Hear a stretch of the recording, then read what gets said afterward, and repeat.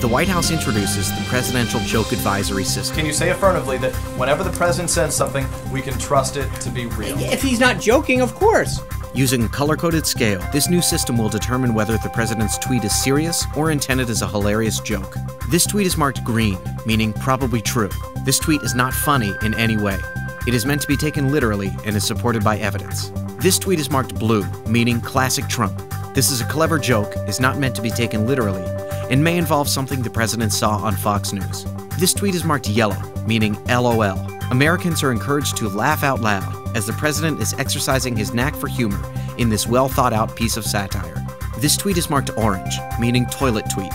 It was likely written on the toilet and should be disregarded. This tweet is marked red, meaning total bullshit. It is an utter falsehood delivered with a keen sense of sarcasm and intended only for comedic purposes. President Trump will be showcasing his fantastic sense of humor at the White House Correspondents' Dinner.